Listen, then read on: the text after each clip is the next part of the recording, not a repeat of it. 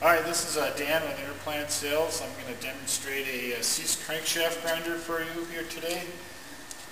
Uh, it's a nice machine. Uh, this is for the head movement. It's got a fine feed and coarse feed handle. This is uh, for the table movement.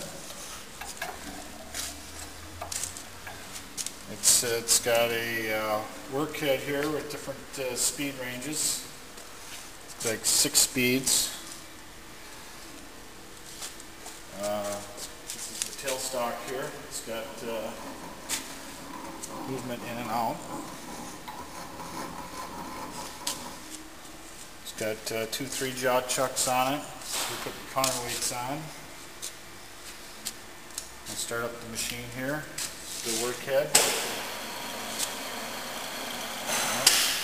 It's not in gear. Gauge it here.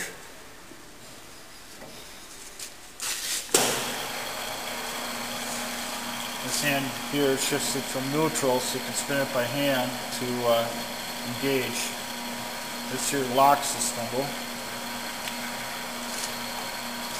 Start up the work